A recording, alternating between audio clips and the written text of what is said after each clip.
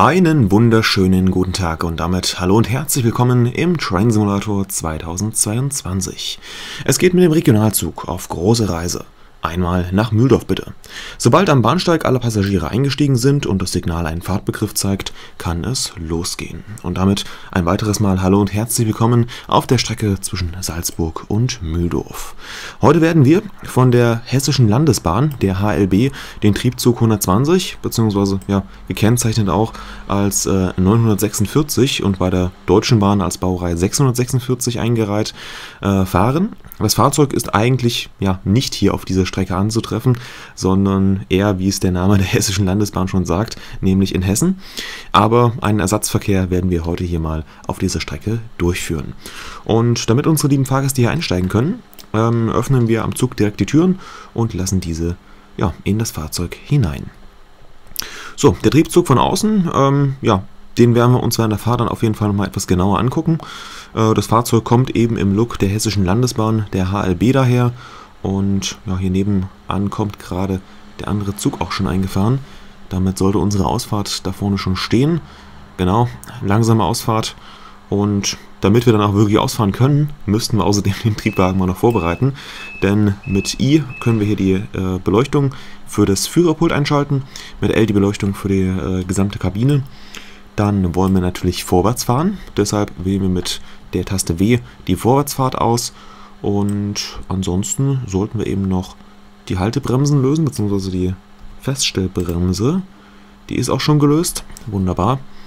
Gut, dann können wir eigentlich auch schon aufbrechen. Die Türen sind geschlossen. Die Zugsicherungssysteme, ähm, ja, haben wir die PZB an Bord. Äh, außerdem ist noch eine SIFA mit in das Fahrzeug integriert. Werde ich jetzt allerdings hier beides nicht einschalten. Ich kann mal ganz kurz demonstrativ die PZB aktivieren mit Steuerung Numpad Enter. Die beiden Leuchtmelder für die Modi 70 und 85 befinden sich hier vorne, inklusive eben den 1000 Hertz und 500 Hertz sowie den Befehlsleuchtmelder. Wir werden jetzt aber hier nicht mit der PZB fahren. Hintergrund ist der, dass die äh, PZB hier in der, naja, Vorabversion noch nicht ganz ausgestaltet ist und sich da eben einige Fehler ergeben können. Deshalb, ja, heute mal ohne PZB. Normalerweise funktioniert die natürlich und in der endgültigen Variante des Fahrzeugs, wie sie dann auf den Markt kommen wird, da sollte die PZB dann funktionsfähig sein. Gut, wir fahren ab und zwar aus dem Bahnhof von Garching. In Bahnsteig oder am Bahnsteig 2 haben wir gerade gehalten und unser nächster Halt ist dann Tusslingen, ebenfalls auf Bahnsteig 2. Und genau. Als Fahrzeug äh, kommt heute die diesel-elektrische Variante des Stadler GTW zum Einsatz. Also so die Typenbezeichnung, wie sie eben äh, von Stadler für dieses Fahrzeug gewählt wurde. GTW ja, steht an der Stelle für Gelenktriebwagen, was unter anderem auch ähm, ja, dem Gelenk hier oder den Gelenken in der Mitte geschuldet ist und dieser wunderschönen Antriebseinheit, die ja, ich sag mal, ziemlich charakteristisch eigentlich für die äh, Stadler GTW ist. Wir haben hier quasi in der Mitte dieses Motormodul, dieses, naja, mechanische Modul, wo quasi ähm, die gesamte Technik des Zuges untergebracht ist. Also Bremseinrichtungen, äh, ja, Motormodul, dann sicherlich auch die Fahrzeugrechner und so weiter. Das steckt alles quasi in dieser Antriebseinheit drinnen. Und vorne sind dann quasi die beiden Führerstände an den jeweiligen Kopfenden des Fahrzeugs, von wo aus eben ja, die Leistung gesteuert werden kann, übers Führerbremsventil eben die Bremsung eingeleitet und, und, und. Man kann auch ähm, durch dieses Antriebsmodul hindurchgehen. Das können wir uns auch gleich mal noch angucken. Wir haben nämlich auch bei dem Triebwagen eine Innenansicht zur Verfügung. Und die können wir aufrufen mit der Taste 5. Genau. Da haben wir einmal hier den ja, Fahrgastbereich, diesen Fahrgastraum. Ähm, da drüben sitzt die freundliche Dame, unmittelbar dahinter der Herr. Aber ich merke auch gerade, wir können leider im Innenraum hier nicht die Position wechseln. Also müssten uns dann mal das Antriebsmodul oder den Durchgang durch das Antriebsmodul äh, am nächsten Haltepunkt oder Bahnhof anschauen. Dazu haben wir aber heute genug Zeit. Ja, die Fahrt erstmal, die führt uns eben von Garching bis nach Mühldorf mit dem einen Zwischenhalt. Ähm, planmäßig in Mühldorf sollten wir um 18.14 Uhr ankommen. Wenn alles hinhaut, kann ich schon vorankündigen, wird heute nicht ganz klappen. Und zwar allein schon aus dem Grund, dass wir uns das Fahrzeug ein bisschen angucken wollen, auch von außen. Und ja, Deshalb werde ich nicht die ganze Zeit vorne rausgucken und auch nicht so aufmerksam fahren, wie es eigentlich angedacht ist. Aber in der Simulation kann uns hier ja nichts passieren. Genau, vom Außendesign her ähm, erinnert das Fahrzeug eben ganz typisch an die HLB-Lackierungen. Wir haben hier oben auch diesen ja, Zierstreifen, wie er zum Beispiel auch bei der, jetzt muss ich überlegen, Frankfurter S-Bahn, also der S-Bahn Rhein-Main anzutreffen ist. Wir haben eine Zugzielanzeige hier vorne drin, die auch funktionsfähig ist. Allerdings jetzt für die ja, aktuelle Strecke, für den aktuellen Verkehr ähm, sind die Ziele nicht so wirklich geeignet. Deswegen ist die an der Stelle noch ausgeschaltet. Ähm, oben auf dem Dach befinden sich sämtliche Kühlelemente. Ich nehme auch mal an, dass dort ja, die Klimaanlage des Zuges verbaut ist. Äh, Lüfterelemente obendrauf. Und, und, und. Auch sehr schön gemacht.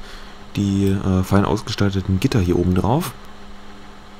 Dass da eben ja, sich keine Tiere reinsetzen, dass sich kein grober Dreck da drin äh, irgendwie verhängt. Und ja, in der Mitte eben dieses typische Antriebsmodul wie das von Stadler damals entwickelt wurde. Diesel-elektrisches Antriebsprinzip hatte ich schon erwähnt. Wir haben quasi einen Dieselmotor hinten drin, der wie bei einem ja, Fahrraddynamo dann äh, durch den Dynamo auch den Strom umwandelt und diesen Fahrstrom dann auf die äh, Fahrmotoren unten überträgt. Also so das Grundprinzip. Ja, im Führerstand haben wir hier auf der linken Seite unseren äh, Fahr- und Bremsschalter. Da können wir Leistung aufwählen in der vordersten Position. Die Fahrstellung ist dann in dieser, ja, ich sag mal, vorderen Mittelposition. Leistung ab 0 und dann geht es hinten eben mit den Bremsstellungen weiter bis zur Schnellbremse, ähm, welche allerdings auch hier drüben bei dem äh, Bremshebel ja, ein bisschen abgeändert zur Realität ausgeführt ist. Normalerweise hätten wir ja, wenn wir das äh, Bremsventil oder den, den Bremshebel bis nach ganz hinten durchziehen, eine Schnellbremsung oder die Schnellbremsstellung. Das wird hier in der Simulation nicht erreicht. Es hat auf der einen Seite einen Vorteil, aber auf der anderen Seite natürlich auch einen Nachteil. Äh, wir können zwar die Bremse ganz normal anlegen, indem wir sie nach hinten ziehen. Das werden wir jetzt auch gleich mal testen, wenn wir dann hier äh, in, in Tusling war das, glaube ich, ne? Genau, wenn wir hier in Tusling gleich anhalten werden. Ähm, aber die Schnellbremsstellung hier hinten, die ist in dem Fahrzeug nicht wirksam. Hintergrund ist der, dass man eben auch mal relativ leicht, wenn man mit der Maus zum Beispiel versucht, hier abzubremsen, ja, gerne mal den Bremshebel, weil da ist ja kein Widerstand in der Simulation, mal zu weit nach hinten zieht und dann quasi sofort eine Schnellbremsung drin hat, die man aber eigentlich vielleicht gar nicht will. Und da hat man sich halt hier so beholfen, dass man die Schnellbremsung bzw. Notbremsung eben über diesen ja, Notaus-Notbremsknopf irgendwo erreichen kann. Gut, die Ankündigung auf 130 hatten wir gerade schon. Äh, ich lasse das Fahrzeug an der Stelle hier mal ein bisschen ausrollen. Wir brauchen ja jetzt hier nicht mit Höchstgeschwindigkeit einzufahren. Genau, Tusling, der Bahnsteig kommt gleich. Aber hier vorne zweigt sowieso erstmal noch die Weiche auseinander. Genau, und dann können wir jetzt genüsslich abbremsen. Und ich kann es mal ganz kurz demonstrieren. Ne? Ich habe jetzt ganz kurz Ränder in die Schnellbremssteuerung gezogen, aber wenn wir uns hier die Bremszylinderdrücke angucken, dann sehen wir da offensichtlich, da ist noch nicht die volle Bremskraft vorhanden. Beziehungsweise die war ja auch nicht gewollt. So. Und ja, das, das Fahrzeug bremst auch offenbar sehr, sehr gut. Also die Eigenschaften, die sind wirklich hervorragend. Was ich ein bisschen schade finde, ist, ähm, dass die MG-Bremse nicht direkt angesteuert werden kann. Normalerweise hätten wir hier vorne nochmal den Schalter für die MG-Bremse. Aber der ist hier leider nicht funktionsfähig. So, und das Coole ist auch, wir können hier drüben mit der ähm, dynamischen Bremse auch einbremsen und der Zug steuert dann automatisch den Bremszylinderdruck auch äh, am Ende mit aus. Also von daher kann man da auch wirklich mit der dann anhalten. So, die Türen öffnen sich. Unsere Fahrgäste dürfen rein und raus hüpfen. So, und wie versprochen, wir gehen jetzt mal in den Innenraum, gucken uns den etwas genauer an. Hier vorne eben, ja, dieser eine Großraumbereich. Und dann geht es hier hinten weiter. Natürlich auch alles ohne Abteile. Ist ja ein klassischer Nahverkehrstriebwagen. Da wäre das auch ziemlich untypisch, sage ich mal. Und hier in der Mitte dann dieses Antriebsmodul. Und du siehst schon, man kann da auch durchgehen. Ich nehme mal an, dass dann eben an den Seiten die ja, mechanischen Bauelemente, die Rechner etc., dass es dann alles durch so ja, Abdeckklappen irgendwo verschlossen ist, wahrscheinlich mit einem Vierkant abgesichert, sodass da eben dann nur das Bahnpersonal bzw. die Werkstatt drankommt.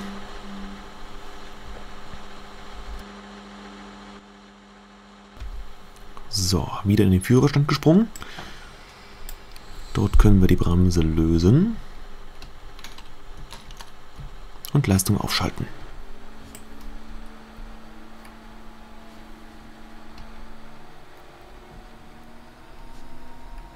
Genau, weil hinten in dem Antriebsmodul hat ja der Fahrgast eigentlich nichts herumzuwirkeln. Der soll da auf keine Knöpfe drücken, der soll da auch nichts, äh, ja, also mit nichts in Berührung kommen, was ihm irgendwie gefährlich werden könnte. Sinn und Zweck ist ja, dass der Fahrgast mehr oder weniger auch ungestört seine Reise ja, vollziehen kann. Und das ist eben auch eine Sache, die ich mir so ein bisschen problematisch bei dem äh, ja, GTW-Prinzip vorstelle, ähm, dass man eben als Fahrgast teilweise auch durch diesen äh, Motorraum hindurch muss, was dann wahrscheinlich mit einer erheblichen Lärmbelästigung auch zu verbinden ist. Aber solange man sich da drin ja jetzt nicht aufhalten muss etc., äh, dann sollte das irgendwie ja, verkraftbar sein. Und einen Vorteil könnte es auch bringen, dadurch, dass dieses Antriebsmodul ja für sich, ich sag mal, abgekoppelt ist und mehr oder weniger nur durch diesen äh, Wagenübergang hier mit dem anderen Triebwagenteil verbunden ist. Dadurch hat es wahrscheinlich auch den Vorteil, dass die Lärmbelästigung in den ja, Fahrgasträumen etwas geringer ausfällt, als das vielleicht der Fall wäre, wenn der ähm, wenn das Antriebsmodul unmittelbar mit dem Zug fest, starr verbunden wäre.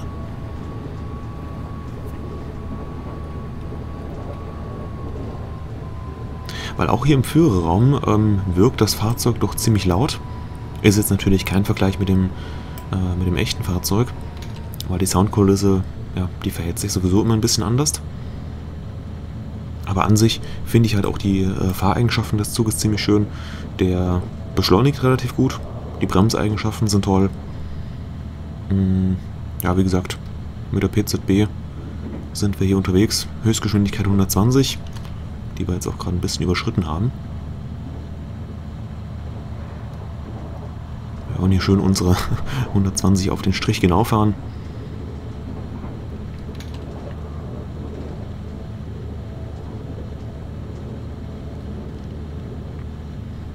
Genau. Wenn ich schon äh, drüben sehe, dass wir die dynamische Bremse haben, dann gehe ich an der Stelle davon aus, dass es sich hier wahrscheinlich um eine E-Bremse handeln wird, weil wenn wir hinten dran ein dieselelektrisches Prinzip haben, ähm, dann ist es wohl das naheliegendste, dass dann eben die Fahrmotoren da als äh, ja, Verzögerungsbremse oder als dynamische Bremse wirken. Bestätigen kann ich es all äh, allerdings nicht. Also es ist auch gut möglich, dass da ein anderes äh, Bremsverfahren zum Einsatz kommt. Dynamisch wäre jetzt vielleicht auch denkbar, wäre aber sicherlich mit einem, äh, also hydrodynamisch, wäre allerdings wahrscheinlich mit einem ja, erhöhten mechanischen Aufwand oder mit, naja, Verkomplizierungen verbunden, die gar nicht so unbedingt nötig wären. So, 60. Wir drücken mal wachsam, auch wenn wir keine PZB an Bord haben. Aber die Gewohnheit möchte es so.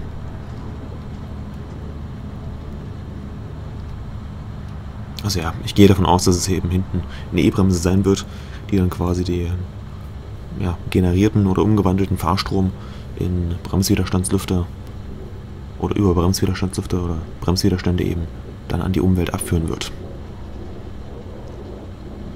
Also klar, man hat immer noch eine äh, verschleißfreie Bremse, aber es ist jetzt vielleicht nicht unbedingt die optimalste Variante, um die Energie da zu nutzen. So, 60 Wiederholungen. Und dann vorne KS2, halt erwarten. Einfahrt mit 60.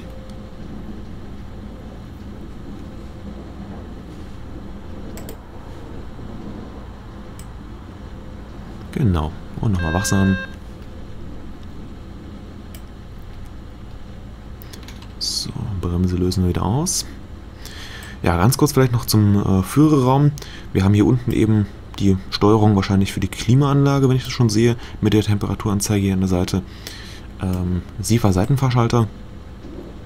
Dann ja, ganz gewöhnlich eben der Führertisch, Zugfunk, Eingabe für die äh, Anzeigen außen am Zug, also die Zugzielanzeigen.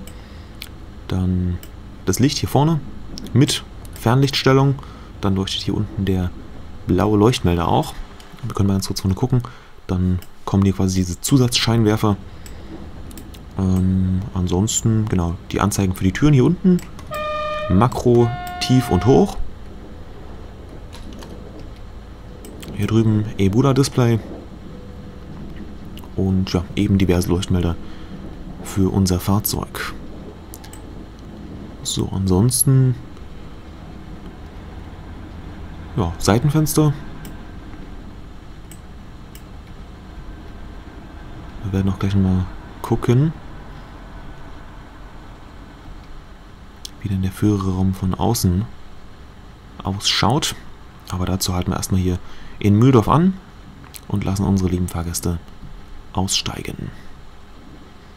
Ja, wo jetzt der ordnungsgemäße Haltepunkt oder die Stelle ist, an der wir anzuhalten haben äh, für unseren Zug, das kann ich an der Stelle nicht herausahnen. Hier unten in der Anzeige ist leider nichts genaueres angegeben. Da steht eben drin Mühldorf und da ist dann ja, praktisch anzuhalten. Wir sind auch mit zwei Minuten Verzögerung hier in Mühldorf eingetroffen. Ich öffne mal an der Stelle die Türen ausnahmsweise noch nicht, weil ich wie gesagt das Fahrzeug noch ganz gerne äh, angucken möchte. Wir haben hier außen äh, außerdem die Scharfenbergkupplung mit dran, die quasi dann auch das ähm, ja, relativ schnelle Kuppeln der Züge in Bahnhöfen äh, ermöglichen soll. Der Zug ist, ja, ganz logisch, mit Scheibenwischern, Frontscheinwerfern äh, etc. ausgestattet. Und wenn wir jetzt mal hier in den Führerraum hineingucken, dann sehen wir auch Fahrersitz drin und hier hinten haben wir quasi so eine Rückwand, die uns ja, von den Fahrgästen dann nochmal abtrennt. Diese Glastür zum Durchgehen, natürlich sicherlich auch sehr schön für äh, den einen oder anderen Eisenbahnbegeisterten, der sich dann gerne mal dahinter hinstellen kann und eben auch den Blick aus dem Führerstand äh, heraus genießen darf. Und ja, wenn ich das jetzt hier so sehe, würde ich auch meinen, dass es ein Niederflurfahrzeug ist, was ja bei den, ich glaube, Stadler GTW sowieso fast überall, wenn nicht überall der Fall ist. Ähm, ja, ist eben typisches Nahverkehrskonzept und genau, damit hätten wir, glaube ich, auch alles erläutert, was es da so zu dem Fahrzeug im Groben und Ganzen erstmal gibt. Ja, mir hat die Fahrt ziemlich viel Spaß gemacht, auch wenn sie etwas kürzer war. Wenn du genauso viel Spaß hattest bei der Fahrt, würde ich mich sehr über ein Däumchen nach oben äh, freuen, beziehungsweise einen kurzen Kommentar unter dem Video. Ich sage danke fürs Zusehen, wünsche allseits gute Fahrt und verabschiede mich. Bis zum nächsten Mal.